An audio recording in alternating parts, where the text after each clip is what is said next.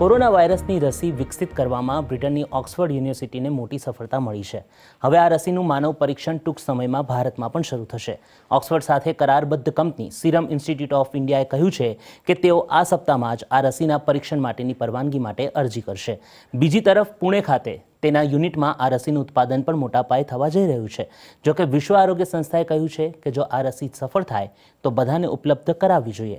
ત્યારે તમને લઈ જઈએ ઓક્સફર્ડ યુનિવર્સિટી જ્યાં આ રસી તૈયાર કરવામાં આવી રહી છે 313197. Perfect. Thank you so much. દુનિયા તેના પર ઘણી નિર્ભર છે શું ઓક્સફર્ડની આ રસી દુનિયામાંથી મહામારીનો નાશ કરી શકશે યુકેમાં જે સ્વયંસેવકોને આ રસી આપવામાં આવી હતી, તેમાં યુકેના ન્યુકાસ્ટલમાં આવેલા આરોગ્ય વિભાગનો સ્ટાફ પણ સામેલ હતો મેં જોયું કે કોરોના વાયરસ શું કરી શકે છે. ઘણા કેસમાં ગંભીરતા આપણને હતાશ કરી મૂકે છે. એટલે મેં આ રોગમુક્ત થવાના અભિયાનમાં સામેલ થવાનું નક્કી કર્યું. Unfortunately, my dad fell ill with COVID. દુર્ભાગ્યવશ મારા પિતા કોવિડને કારણે બીમાર પડ્યા અને અહીં આઠ દિવસો માટે દાખલ થયા. તેથી તમને થવું જોઈએ કે તમારે કશું પ્રદાન કરવું જોઈએ. Vaccines work by training the immune system to recognize and remember the enemy. In this case, coronavirus. આ રસી પણ રોગ પ્રતિકારકતાને તૈયાર કરે છે અને દુશ્મનને યાદ રાખવામાં મદદ કરે છે આ ઓક્સફર્ડની રસી ખાસ વાય આકારના પ્રોટીન ઉત્પન્ન કરવામાં મદદ કરે છે જે એન્ટીબોડીઝના અસર નાબૂદ કરે છે જે જોખમભરી સ્થિતિમાં કોરોના વાયરસના ચેપથી બચાવે છે તે ટી કોષોને ઉત્પન્ન કરવામાં પણ મદદ કરે છે જે પણ રોગ પ્રતિકારકનો એક ભાગ છે જે એન્ટીબોડી સાફ કરે છે કે જે સંક્રમિત થયેલા કોષોનો નાશ કરે છે. These should sweep up after the antibodies and destroy any cells that have become infected. પહેલા એક હજાર સત્યોતેર સ્વયંસેવકોમાં રસી સુરક્ષિત મનાય છે. અને જેને બે ડોઝ આપવામાં આવ્યા હતા તે એ લોકો કરતાં પણ વધારે સુરક્ષિત હતા જેને માત્ર એક ડોઝ અપાયો હતો. We're really pleased with the, the results uh, that are published today. અમે આ પરિણામથી ઘણા ખુશ છીએ. બંને રીતે એન્ટીબોડીઝને ન્યુટ્રલાઇઝિંગ કરવામાં અને ટી સેલ્સના મામલે જેથી અમે સુરક્ષાને લઈને આશાવાદી છીએ. જો કે હજુ વધુ પરીક્ષણની જરૂર છે. જોકે ખબર નથી કે આ રસી દુનિયાને સંક્રમણથી બચાવવામાં સફળ રહેશે કે નહીં. હવે પરીક્ષણો દક્ષિણ આફ્રિકા અને બ્રાઝિલમાં પણ શરૂ થશે જે વાયરસના હોટસ્પોટ છે જેથી યુકે કરતાં વધુ સારી રીતે પરિણામની જાણકારી મળી શકશે. So this is very good and is very promising. આ સારું છે અને શરૂઆત સારી છે. જો કે રસીને આ તબક્કે પહોંચીને પણ નિષ્ફળતા મળી શકે છે. તેથી અમારે વધુ કાળજી રાખવાની જરૂર છે. Quite uh, popping the prosecco uh, just. fit you both in at quarter to one. Perfect. Yeah. આ તમામ વયોવૃદ્ધ લોકોને રસી મૂકવામાં આવશે વૃદ્ધ લોકોને કોરોના વાયરસની વધુ અસર થાય છે આપણી રોગ પ્રતિકારક શક્તિ પણ ઉંમર વધતા ક્ષીણ થતી જાય છે તેથી આ રસીની તેમના પર કેવી અસર થશે તે જવાબ મેળવવો મહત્વનો છે Good. No, I'll just do what I'm told to. Take off before you go today. Yeah. But we'll just keep an eye on it. Yeah, no problem. How do you feel? I feel fine. Good. It's all done for you. દુનિયાભરમાં કુલ ત્રેવીસ જેટલી રસીઓ પર માનવ પરીક્ષણ ચાલી રહ્યા છે. ભારતમાં બે રસી પર ક્લિનિકલ ટ્રાયલ શરૂ થઈ ચૂક્યા છે, જેમ આગળ અમે આપને જણાવ્યું કે ઓક્સફર્ડ દ્વારા વિકસિત કરાઈ રહેલી વેક્સિન મામલે ભારતની સિરમ ઇન્સ્ટિટ્યૂટે કરાર કર્યો છે. જેથી નિષ્ણાંતોનું હવે માનવું છે કે ભારતને આ રસી મેળવવામાં સમસ્યા નહીં નડે. અને ભવિષ્યમાં જો ભારત આ રસી તૈયાર કરશે, તો તો સવાલ જ પેદા નથી થતો. આવા સંજોગોમાં અમે અમદાવાદના જાણીતા cardiac surgeon doctor Tejas Patel સાથે વાત કરી. અમે તેમને પૂછ્યું કે જો આ રસી તૈયાર થાય, તો સામાન્ય લોકો સુધી પહોંચતા તેને કેટલો સમય લાગે અને તેને આપવાની પ્રાથમિકતા કઈ હોવી જોઈએ? ખરેખર જો વેક્સિન શોધાઈ જાય, તો એનું પ્રોડક્શન અને એન માસ પ્રોડક્શન કરવું થોડી ચેલેન્જ છે, પણ એ ઇમ્પોસિબલ નથી. વેક્સિન આવી જ જશે અને બધું સારું થઈ જશે, એ રીતે બેસી રહેવાયું એટલે નથી કે virus is a fast mutating virus, આજે કોવિડ નાઇન્ટીન વાળો. એટલે જ્યારે વાયરસના મ્યુટેશન્સ બહુ ઝડપથી થતા હોય ને, એની સ્ટેબલ વેક્સિન બનવી થોડીક અઘરી છે. એટલે બહુ જ સ્ટેબલ વેક્સિન તમે જુઓ તો તમે પોલિયો કે સ્મોલ પોક્સ કે એ બધાની જે આવી ગઈ એકદમ સ્ટેબલ વેક્સિન હતી. કે અને વાયરસની બી સ્ટેબિલિટી ખૂબ હતી એટલે એ વેક્સિન વારે ઘડીએ બદલવી ના પડે. પણ અત્યારે we have to hope for the best અને ઇન્ડિયામાં બી એના ઘણા બધા પ્રયત્ન ચાલી રહ્યા છે અને ક્લિનિકલ ટ્રાયલ બી ચાલી રહ્યા છે. અને આમાં પોઝિટિવ થિંકિંગ સાથે જવું પડે કે જલ્દી જલ્દી આવી જાય અને એની સાથે માનસિકતા એ પણ રાખવી પડે કે કદાચ એ ના આવે અથવા તો મોડું થાય, તો પણ આપણે આ વાયરસ સાથે ડીલ કરી લેવું પડે. વેક્સિન તો પછી એન માસ પ્રોડક્શન જ કરવું પડે. અને આમાં પ્રાયોરિટી જેવું તો કંઈક જે એરિયા સૌથી વધારે ખરાબ અફેક્ટ થયેલા છે, એ એરિયાના જે સિટીઝન્સ છે, એને પહેલા વેક્સિનાઇઝ કરવા જોઈએ. જે લોકોને કોવિડ થયો નથી but we are at risk of covid right અને પછી ધીરે ધીરે ધીરે કરી અને there should be an mass vaccinisation ભાઈ, આજ સુધી દુનિયામાં કોઈ વાયરસ ઇરેડિકેટ થયો નથી, મહદઅંશે. આમાં પણ સ્મોલ પોક્સ અને પોલિયો આ બે જ વાયરસ એવા છે, એ બેના જ વાયરસ એવા છે કે જે મહદઅંશે ઇરેડિકેટ આખી દુનિયામાંથી થયા છે. બાકીના બધા જ વાયરસ આપણી સાથે જ રહ્યા છે, એના ફોર્મ્સ ચેન્જ થયા કરે છે.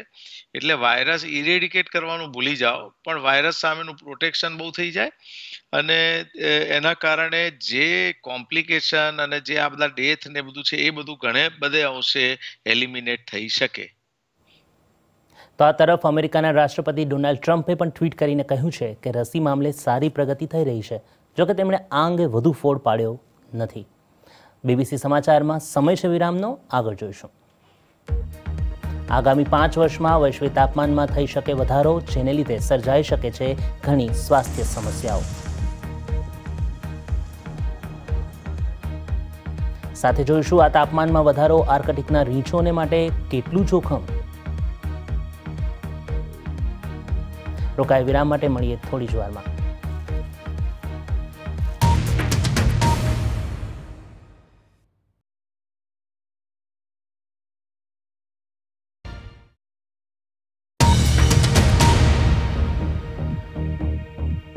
બીબીસી સમાચારમાં વિરામ બાદ આપનું સ્વાગત છે. હું છું અર્ણવ વસાવડા. હવે વાત પર્યાવરણ પર વાતાવરણની અસર વિશે. ભલે એવું માનવામાં આવતું હોય કે લોકડાઉન દરમિયાન વાતાવરણ શુદ્ધ થયું અને પ્રદૂષણનું પ્રમાણ ઘટ્યું પણ હકીકત એ છે કે જળવાયુ પરિવર્તનની અસરો હજુ ઓછી નથી થઈ. કારણ કે વિશ્વના ઘણા દેશો હવે લોકડાઉન હટાવી ચૂક્યા છે. વૈજ્ઞાનિકો હજુ ચેતવણી ઉચ્ચારે છે કે આગામી પાંચ વર્ષમાં વૈશ્વિક તાપમાનમાં દોઢ ડિગ્રી સેલ્સિયસનો વધારો જોવા મળી શકે છે. આ અનુમાન છે વર્લ્ડ મેટ્રોલોજીકલ ઓર્ગેનાઇઝેશનના હવામાન નિષ્ણાંતોનું. હવે પ્રશ્ન એ છે કે તાપમાનની લિમિટનો લક્ષ્યાંક કેવી રીતે નક્કી કરવામાં આવ્યો અને તે શા માટે મહત્વની છે? તો બે હજાર પંદરમાં થયેલી પેરિસ ક્લાઇમેટ ડીલમાં વિશ્વના અગ્રણી નેતાઓએ જળવાયુ પરિવર્તન મામલે કેટલાક લક્ષ્યાંક નક્કી કર્યા હતા. જેમાં બસો દેશોએ યોજનાબદ્ધ રીતે જળવાયુ પરિવર્તનની સમસ્યાનું નિરાકરણ લાવવાનું નક્કી કર્યું હતું. વૈજ્ઞાનિકોનું કહેવું છે કે જો કુદરતી આફતોની અસરમાંથી બહાર આવવું હશે, તો વિશ્વના સરેરાશ તાપમાનની વૃદ્ધિમાં દોઢ ડિગ્રી સેલ્સિયસ કરતાં વધારો ન થવો જોઈએ. જેથી દાવાનળ પૂર, ઠંડા પ્રદેશમાં બરફ ઓગળવા જેવી ઘટનાઓને ટાળી શકાય. હવે જોઈએ કે આનો આપણા પર્યાવરણ માટે શો અર્થ છે? તો દરિયામાં પાણીનું પ્રમાણ વધવાથી નીચાણવાળા દેશ, પ્રદેશમાં સતત પૂરની સમસ્યા સર્જાઈ શકે છે. આમ જ વધુ ઘૂઘવાતો દરિયો વધુ પ્રમાણમાં તોફાન પણ સર્જી શકે છે. નિયમિત હવામાન કરતાં એકધારું વધુ ઊંચું તાપમાન જોવા મળી શકે છે. વૈજ્ઞાનિકોના મતે ઊંચા તાપમાનનો અર્થ છે કે આર્કટિક પ્રદેશનું તાપમાન વિશ્વના સરેરાશ તાપમાન કરતાં પણ બમણું હશે. તો ગત સપ્તાહે અમે તમ, તમને આ સિરીઝમાં આર્કટિક જેવા ઠંડા પ્રદેશમાં પીગળતા, બરફ અને તેની પરિસ્થિતિ વિશે જણાવ્યું હતું. હવે વાત કરીશું હીટ સ્ટ્રેસની. જ્યારે શરીરનું તાપમાન ઠંડુ કે સામાન્ય નથી થતું, તેને લીધે આરોગ્યની સમસ્યાઓ સર્જાઈ શકે છે. આ પરિસ્થિતિની માઠી અસર વિકાસશીલ દેશોમાં આઉટડોર કામ કરતા લોકો પર વધુ પડી શકે છે. જેમ કે ખેડૂતો, ભઠ્ઠીના કામદારો સાથે મેડિકલ સ્ટાફ જેમને પ્રોટેક્ટિવ ઇક્વિપમેન્ટ પહેરીને કામ કરવું પડે છે. જોઈએ બીબીસી સંવાદદાતા ડેવિડ સુકમેનનો અહેવાલ.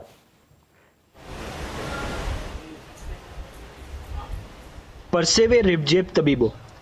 તેઓ કોવિડ નાઇન્ટીન દર્દીઓનું ધ્યાન રાખી રહ્યા છે પણ ત્યાં કોઈ એર કન્ડિશન નથી. એવામાં પર્સનલ પ્રોડક્ટિવ ઇક્વિપમેન્ટ તેમને વધારે ગરમી લાગે છે. પીપીઈમાં હું પરસેવે રેબઝેબ થઈ જાઉં છું. મારા માટે આ ગરમી વધારે છે આ સ્થિતિમાં કામ કરવા માટે.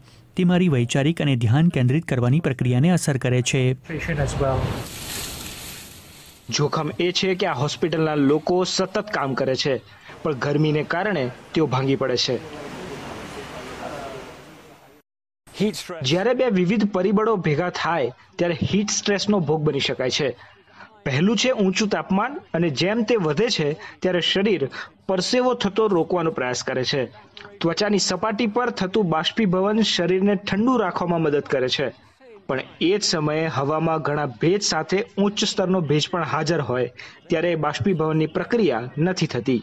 અને ઠંડક ન મળતા શરીર વધારે પડતું ગરમ થઈ જાય છે. જેમાં કોઈને પણ ચક્કર, થાક અને કિડની ફેલ્યોર જેવી સ્થિતિ તરફ લઈ જાય છે. આ ડિવાઇસ ગરમી અને ભેજના સંયોજનનું માપન કરે છે. ચિંતાનો વિષય એ છે કે જળવાયુ પરિવર્તનને કારણે દુનિયા ગરમ થઈ રહી છે. આવામાં ઘણા માટે કામ કરવાની સ્થિતિ ઘણી કપરી બની રહી છે.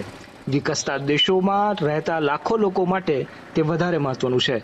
ભારતમાં ઈંટોના ભઠ્ઠામાં કામ કરતા લોકો પેટીયું રડવા માટે તેમના જીવને જોખમમાં મૂકી રહ્યા છે. તો ગલ્ફ દેશોમાં બાંધકામ ક્ષેત્રના મજૂરોની તો પહેલાથી જ આ પરિસ્થિતિ છે. વૈજ્ઞાનિકોના મતે કોરોના વાયરસ પછી હીટ સ્ટ્રેસનો ખતરો આગામી સમયમાં મોટો છે. હું આ રોગચાળાને આગામી સમયની સંપૂર્ણ તૈયારીના ભાગરૂપે જોઉં છું. હવામાન અને જળવાયુ પરિવર્તન એ મોટા દાનવ બનશે. આવનારા સમયની તૈયારી માટે બધા રાષ્ટ્રોએ સંકલિત પ્રયત્નો કરવાની જરૂર છે. સદનસીબે મદદના રસ્તા છે. છાયડામાં હવાને ફરતી રાખે તેવા પંખા સાથે આરામ કરવો એ દેખીતો ઉપાય છે જે બહાર કામ કરે છે અને પુષ્કળ પાણી પીવામાં આવે. સંશોધકો આવા સરળ પગલાં હકીકતમાં પરિવર્તનકારી હોવાનું માને છે. તમે સંપૂર્ણ વિરામ લઈ શકો તો બેસો અને આરામ કરો અને શીતળ પાણી પીવો. સાથે હવા આવતી હોય તેવા છાંયડામાં બેસો અને કામના એ દિવસમાં પોતાને થોડી રાહત આપો. અમે જેમની સાથે કામ કરી રહ્યા છીએ તેવા કામદારો પર અમે તેની સકારાત્મક અસરો જોઈ છે. સિંગાપોરમાં સ્ટાફને ઠંડક મળી રહે તે માટે સેમી ફ્રોઝન ડ્રિંક્સની વ્યવસ્થા કરાઈ છે. અન્ય ઘણા માલિકો તેમના કામદારો પર ગરમીની થતી અસરો વિશે વિચાર નથી કરતા. પણ જેમ વૈશ્વિક તાપમાન વધી રહ્યું છે તેને જોતા આ બાબતે ધ્યાન આપવું જોઈએ તેના પુરાવા મળવાનું પ્રમાણ વધ્યું છે. પોલર બિયર એટલે કે ધ્રુવીય પ્રદેશના રીંછ. પૃથ્વી પરની આ ખૂબ જ અદ્ભુત પ્રાણી જાતિ છે. તો પણ તેમના અસ્તિત્વ સામે જોખમ છે. એક નવા અહેવાલમાં કહેવાયું છે કે જો આ વિશે આપણે નક્કર કામગીરી નહીં કરીએ, તો આ રીંછો લગભગ સદીના અંતમાં લુપ્ત થઈ જશે. જોઈએ વિક્ટોરિયા ગિલનો આ રિપોર્ટ. ક્લાઇમેટ ચેન્જની અસરની આ પ્રજાતિ સાક્ષી છે. આ રીંછો નાજુક અને બદલાતી ભૂમિ પર નપતી પ્રજાતિ છે. આર્કટિક દરિયાનો બરફ તેમનું ઘર છે. વૈજ્ઞાનિકોએ સેટેલાઇટના ડેટાના ઉપયોગથી અહીંની આગાહી કરી છે કે આગામી દાયકાઓમાં આર્કટિકના બરફના થરમાં ઘટાડો થશે. આનાથી તેમને આગાહી કરવામાં મદદ મળી છે કે ભવિષ્યમાં સર્જાનારી પરિસ્થિતિથી તેમની જે શિકાર કરવાની મોસમ છે, તેમાં કેટલો ઘટાડો થઈ શકે છે. હાલના તાપમાન બદલાવ વિશે સંશોધકો માને છે કે સદીના અંત સુધી પોલર બેરની મોટાભાગની વસ્તી લુપ્ત થઈ જશે ઊંચા ફેટના કારણે તેઓ ભૂખ્યા રહે છે અને તે સમય લંબાઈ રહ્યો છે. શું આ ટાળી શકાય શું આ રીછો લુપ્ત થવાના આરે છે. સ્થિતિ સારી છે હમણાં પણ જો આપણે વૈશ્વિક સ્તરે જળવાયુ પરિવર્તન મામલે કામ નહીં કરીએ તો તેઓ લુપ્ત થઈ જશે. Uh, uh, આવું કરીશું તો માનવજાત માટે પણ સારું છે. આર્કટિકમાં પહેલાથી જ ક્લાઇમેટ ચેન્જની અસરો જોવા મળી છે. સંશોધકો કહે છે કે આ નવી સ્થિતિ દર્શાવે છે કે ખરેખર સમગ્ર માનવજાતનું અસ્તિત્વ દાવ પર લાગ્યું છે.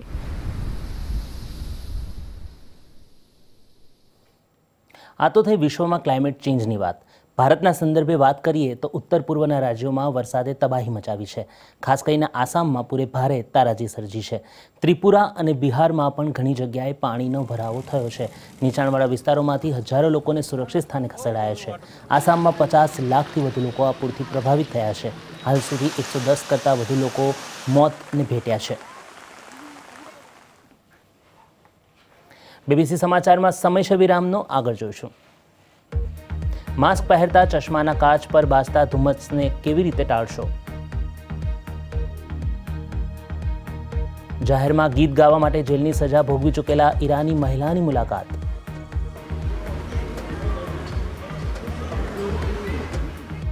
રોકાઈ વિરામ માટે મળીએ થોડી જ વારમાં.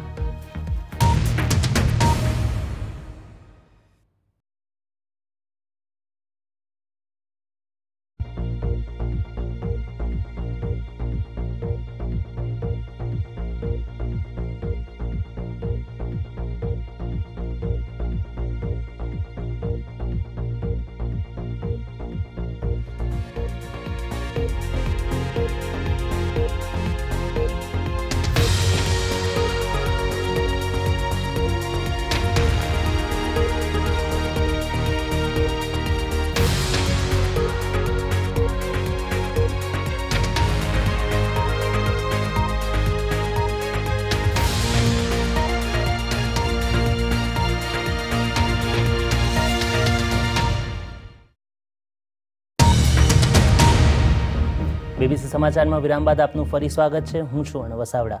બુલેટિનમાં આગળ વધી અને વારો બીબીસી રાઉન્ડઅપનો, જેમાં છે વિશ્વના અન્ય સમાચાર સંક્ષિપ્તમાં.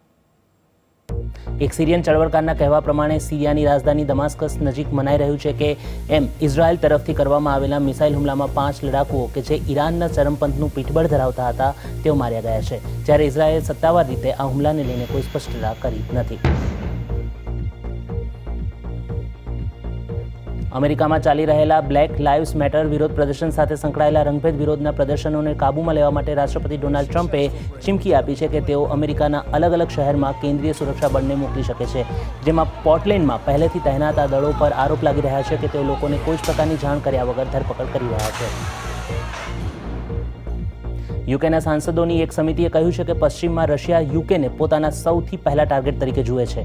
અહેવાલ કે જેમાં બ્રિટિશની રાજનીતિમાં રશિયાની દખલગીરીની વિસ્તૃત જાણકારી આપવામાં આવી છે, તેમાં કહેવામાં આવ્યું છે કે યુકેની સરકાર એ વાતને સમજવામાં નિષ્ફળ રહી છે, જેમાં રશિયા તરફથી દખલગીરીનો ભય વ્યક્ત કરવામાં આવ્યો હતો.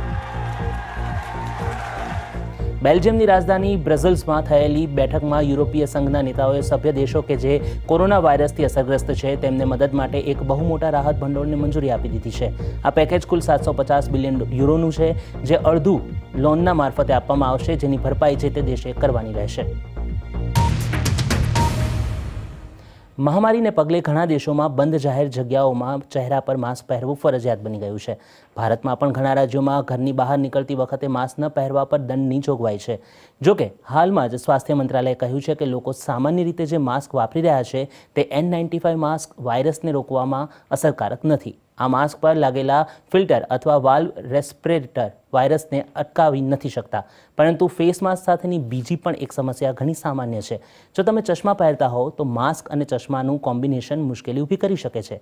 કારણ કે માસ્કને લીધે તમારા શ્વાસમાંથી નીકળતી હવા ધુમ્મસ બનીને ચશ્માના કાચ પર બાજી જાય છે.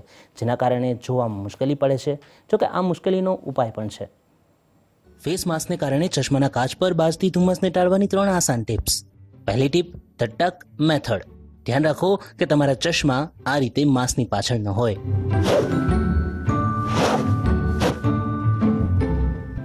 બીજી ટીપ ધ ટિશ્યુ મેથડ માસની ઉપરની બાજુએ ટિશ્યુ પેપર ભરાવીને રાખો, જે ભેજને અટકાવી દેશે. અને ત્રીજી ટીપ ધ સોપ મેથડ તમારા ચશ્માને સાબુના પાણીથી ધુઓ. આનાથી કાચ પર એન્ટીમિસ્ટ લેયર બની જાય છે.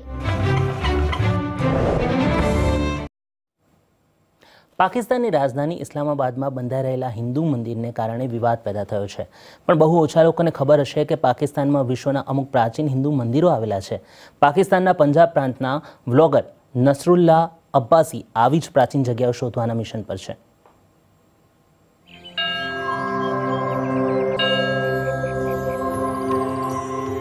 मैं बचपन से ही स्कूल लाइफ से ही पुरानी साइट्स पे हिस्टोरिकल साइट्स पे जो मेरी पहुंच में थी मैं वहाँ जाया करता था اور اسی شوق کی بنا پر پھر میں نے ہسٹری میں ماسٹر ڈگری حاصل کی۔ ان سارے قدیمہ کو تلاش کرنے میں کافی مشکل کا سامنا کرنا پڑتا ہے۔ ایسے جگہوں کا رستہ ڈھونڈنا خاصا مشکل ہوتا ہے۔ ٹریکنگ کرنی پڑتی ہے۔ بھوک، پیاس کو برداشت کرنا پڑتا ہے۔ پھر کہیں مقامی لوگ جو ہیں، وہ مجھے مختلف سائٹس کے بارے میں آگاہ کرتے ہیں۔ اس والے سے سوشل میڈیا نے بڑا رول پلے کیا ہے۔ وہاں سے مجھے میسیجز جو ہیں وہ موصول ہو جاتے ہیں اور میں ایسی جگہوں پہ پہنچ جاتا ہوں۔ ان اثار کو مذہبی تہا پسندوں سے اتنا خطرہ نہیں ہے جتنا خزانہ تلاش کرنے والوں سے ہے۔ یہ ان کھنڈرات میں گھومتے رہتے ہیں اور ان کی توڑ پھوڑ کرتے رہتے ہیں۔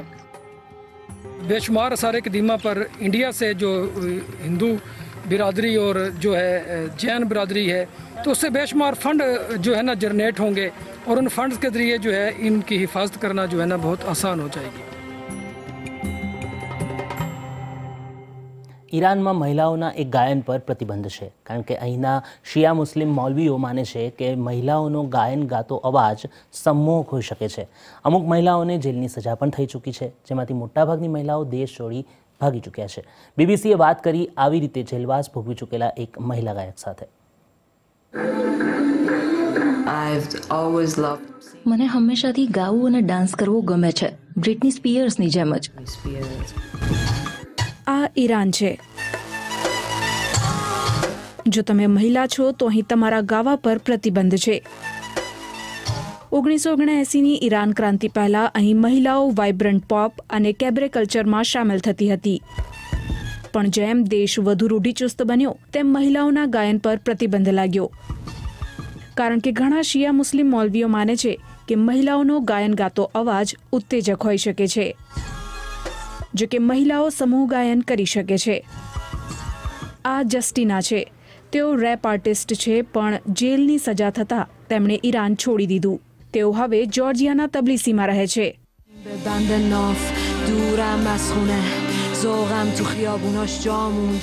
I started singing rap at હું અઢાર વર્ષની હતી ત્યારે રેપ ગાવાની શરૂઆત કરી હતી. મને ખબર હતી કે હું પુરુષ ગાયકોની જેમ મારું કામ મારું સંગીત પ્રમોટ નહીં કરી શકું.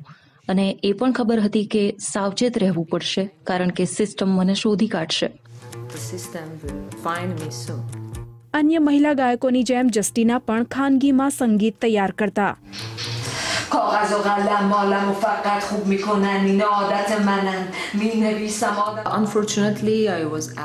દુર્ભાગ્યે બે વર્ષ પહેલા મારી ધરપકડ થઈ ગઈ અને મારી વિરુદ્ધ કેસ દાખલ થયો. તેમણે મારા અને મારા કામ સામે આરોપ લગાવ્યો કે તે ગેરકાયદેસર છે. અને મારા કામ, સંગીત તેમજ હું મહિલાઓના અધિકાર માટે શા માટે ગાઉં છું, જેવા સવાલો કર્યા અને મારા કમ્પ્યુટર સહિતના સાધનો જપ્ત કરી લીધા આખરે હું ઈરાન છોડી જ્યોર્જિયા જઈ શકી meant ફાઇનલી. છેલ્લા બે વર્ષમાં ઓછામાં ઓછી ડઝનેક મહિલાઓને જાહેરમાં ગીત ગાવા કે સોશિયલ મીડિયા પર તેમનું કામ પ્રકાશિત કરવા બદલ જેલની સજા થઈ ચૂકી છે. જસ્ટિનાએ હવે ઈરાનમાં મહિલાઓના અધિકાર વિશે જાગૃતિ લાવવા અને પોતાની જેલની સજાના વિરોધ માટે એક ગીત લખ્યું છે. પણ હજી તેમને સંગીત રચવાના પરિણામોનો ડર લાગે છે. I'm worried about my family. મને મારા પરિવાર માટે ડર લાગે છે, કારણ કે તેઓ કદાચ તેમને હેરાન કરશે. અને ઘણીવાર મને લાગે છે કે મારે ચૂપ જ રહેવું જોઈએ. કદાચ. બોલિવૂડમાં આજકાલ વંશવાદને લઈને ચર્ચા થઈ રહી છે, ત્યારે બીબીસી કાર્ટૂનિસ્ટ કીર્તિશની કલમ આ વિષય પર વ્યંગ કરી રહી છે.